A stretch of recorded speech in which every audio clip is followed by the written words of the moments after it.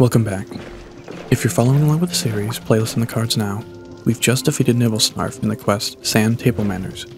And, well, today's the day. We're going after the flagship of Portable Third. The guy on the cover of the game is Zinogre. The cocky wolf boy with mega fleas. I'll mention here that one of the requirements to unlock Dancing Fire and Lightning to unlock a feline attack drink upgrade is to hunt three Zinogres.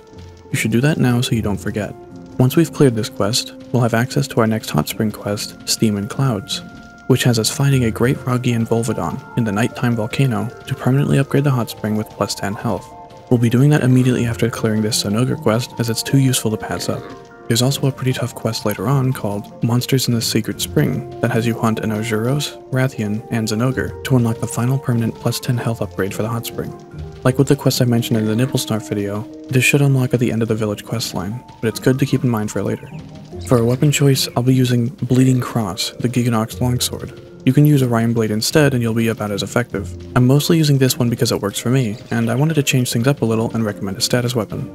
To be honest, I don't use poison weapons basically ever, and it surprised me how comparable it was to the ice longsword I was using, though that could just be coincidental.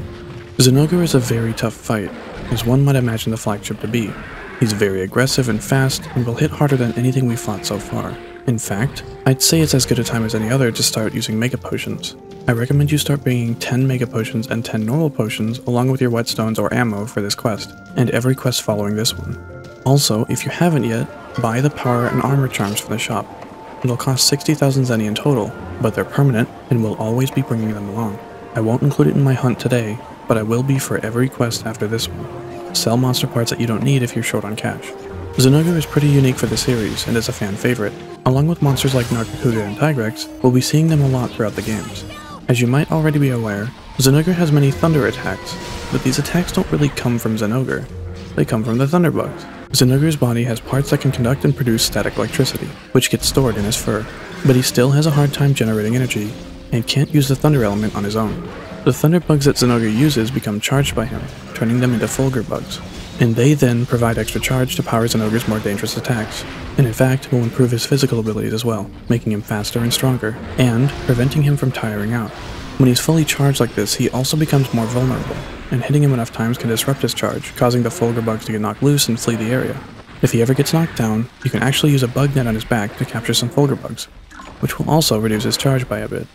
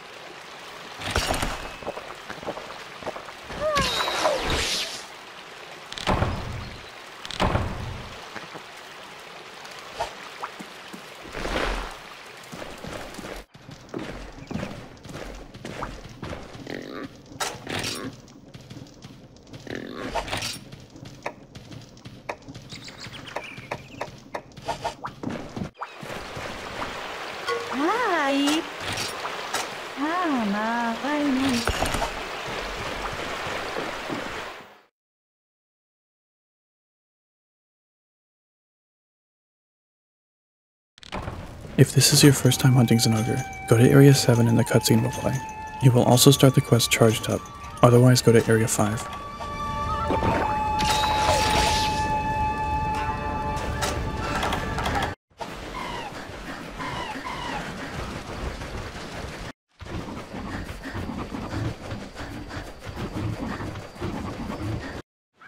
Our main goal of this fight is to hit his head and maintain yellow or red spirit gauge. To be fair though, besides the tip of his tail, you can sort of hit him anywhere. His back legs are a good target since you can topple him. The main thing that will help us is learning how to be aggressive. If you're aggressive without thinking, you'll just end up on the ground. You've got to have a plan. For the sake of the guide, I won't be rolling through any attacks, but I encourage you to try it out if you'd like. It can make the fight a lot more fun. I'd recommend you start out with some evasion gear, like the Lagombi set, then work your way from evasion plus 2 to evasion plus 1, then finally try rolling through attacks with no evasion skill at all. While it's not a 100% guarantee, you should more or less assume that he will charge up after running past you like he just did. It's a good opening and you should try to interrupt him.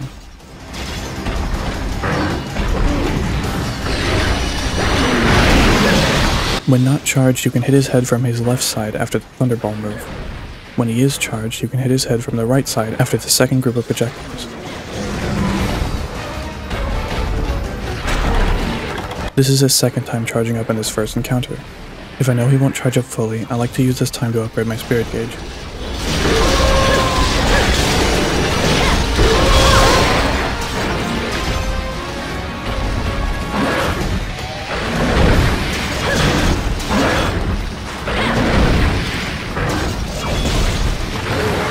Notice how I'm using very low commitment attacks until I'm sure I can use a longer combo. This is our first encounter, and this is the third time he's charging up, so he should finish now.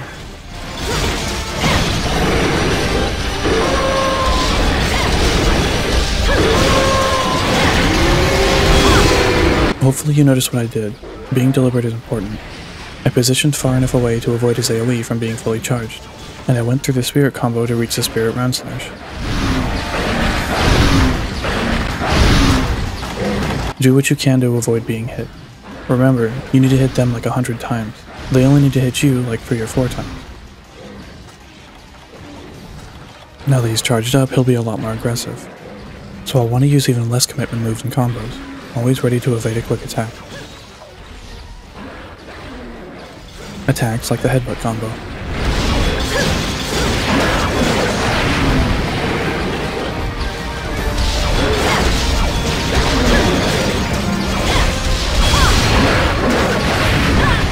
That's unfortunate. I took a risk to refill my red gauge. I'd say it was worth it. I'm still not terribly good with that attack to be honest. The paths of the projectiles can be confusing, even if they're the same each time.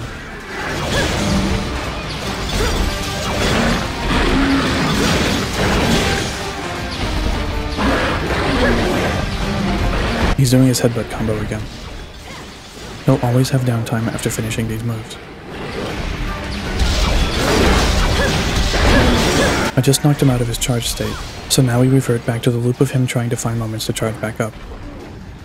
Some other moves are different as well, like his thunderballs and the things.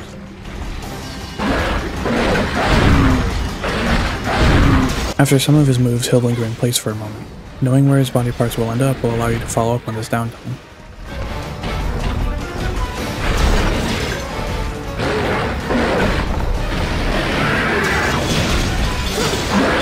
Notice he didn't start charging there. I'm not terribly sure if there's a tell for if he will or won't, so you'll want to be careful. Low commitment until you're sure. Since this is his second charge up, I'll assume he's going to charge up twice before being fully charged. Even if he won't, I just want to be safe. If he doesn't charge in a second time, then I'll know it'll be his third time for sure.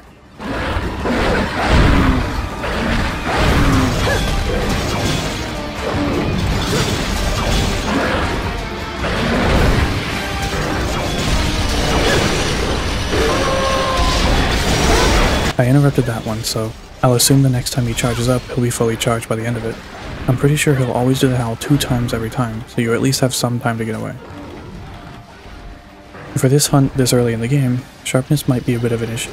I plan to use the next time he charges as an opening to sharpen.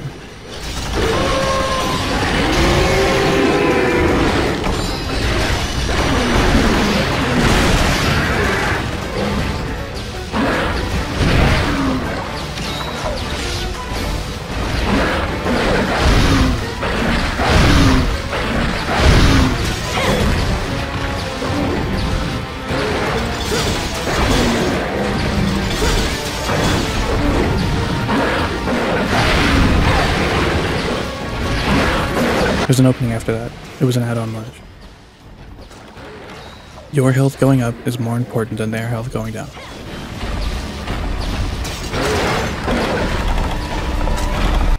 Since I have sharpness trouble so much in this hunt, every time he leaves the area, I'll sharpen just in case.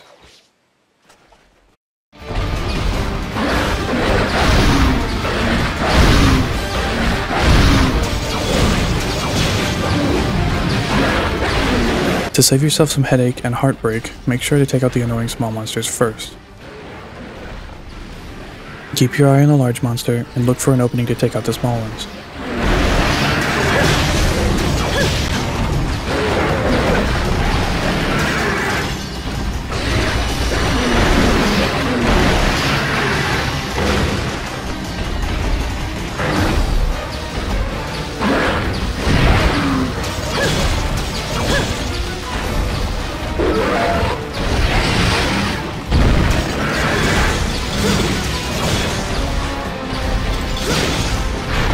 Zinogre is now supercharged. He'll have access to his backflip attack.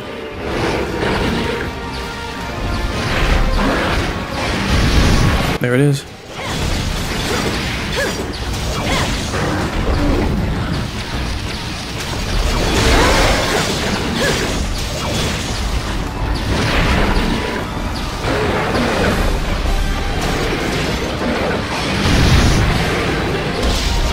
Subtle, but I got a bit too close to that Bullfango.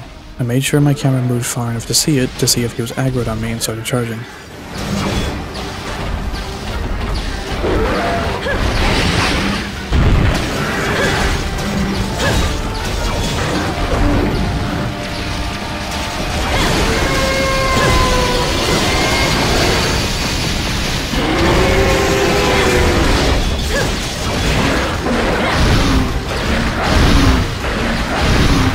He's not supercharged anymore. No more backflow.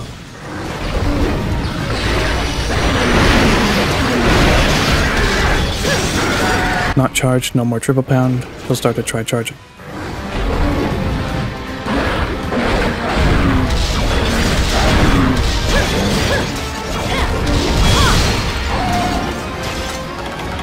He's exhausted. It's a good time to use a pitfall trap now. It'll last longer.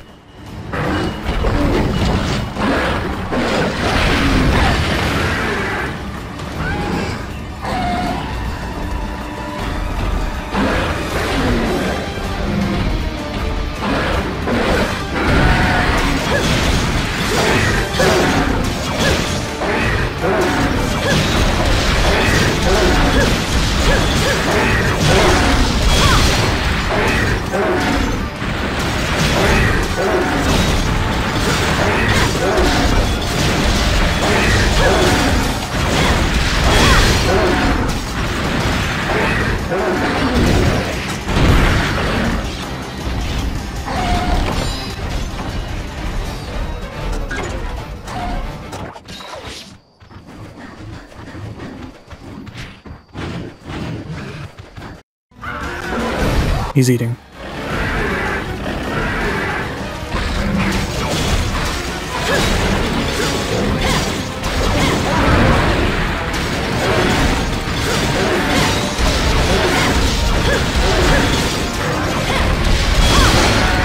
Let's go. With a cut tail, his tail flip attack will have less range.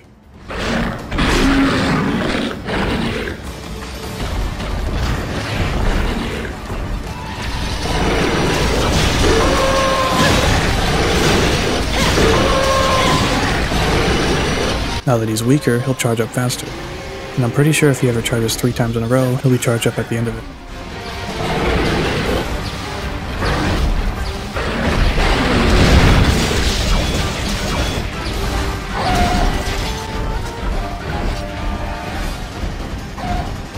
This time I opened up my quest details to help with timing out Zinogre going to sleep.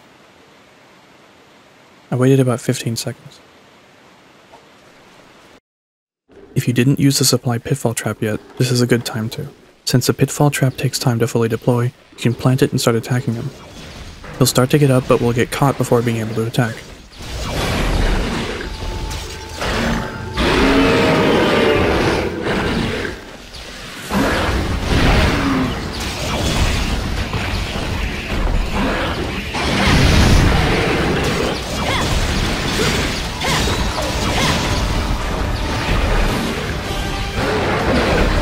That move can have quite a bit of range to it. Zinogre is the monster of Portable Third. This is meant to be as much of a challenge as it is a hurdle. Give him a bit of respect and take your time, and you'll come out on top.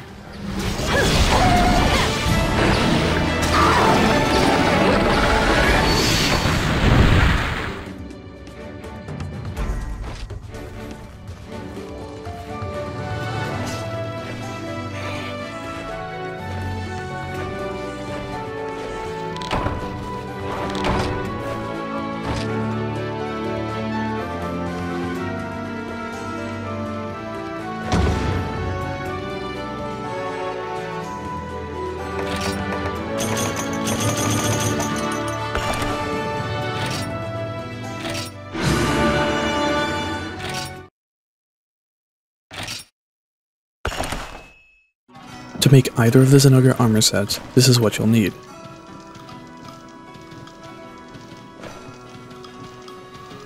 When carving Zinogre, you can get Zinogre shells, Zin Electro Fur, Zinogre shockers, Zinogre claws, and Zinogre plates. When carving his tail, you can get Zinogre tail, Zinogre shell, Zin Electro Fur, and Zinogre plates. When breaking his claws, you can get Zinogre Claw, two is Zinogre Claws, or Zinogre Shocker. When breaking both of his horns, you can get Zinogre Horn, Zinogre Shell, or Zinogre Plate. When picking up a shiny, you can get Wyvern Tears, Fulgur Bugs, Zinogre Shells, and Zinogre Plates. When Zinogre is toppled and you gather from his back with a bug net, you can get Fulgur Bugs, or Zin Electro Fur. And finally, when capturing Zinogre, you can get Zin Electro Fur, Zinogre Shockers, Zinogre Claws, two Zinogre Shells, two Fulgur Bugs, or Zinogre Plate. Bulldrum hides are from, of course, Bulldrum, and Thunderbugs can be gathered from most bug net spots. From the Insect Trapper, you'll want to use the white High Bug Perfume. It has the highest chance to get them at 15%. Remember to use honey or pollen if you have it. A few runs through the Misty Peaks and you should have enough. By default, the Zinogre Blademaster armor gives you Thunder Attack plus 1, Latent Power plus 1, Razor Sharp, and the negative skill Taunt. Thunder Attack plus 1 is the same as any other elemental damage boosting skill. It will increase your elemental damage, if there is any, by 10%, in this case the Thunder element. Razor Sharp, quote, halves the rate at which a weapon loses sharpness, making it so your melee weapons will lose their sharpness slower than normal. This might not sound too valuable since you can always sharpen your weapon when it gets dull, but believe me, this skill is pretty nice, if only for the quality of life of not having to sharpen as often. Less downtime means more damage per second. Taunt is a multiplayer skill.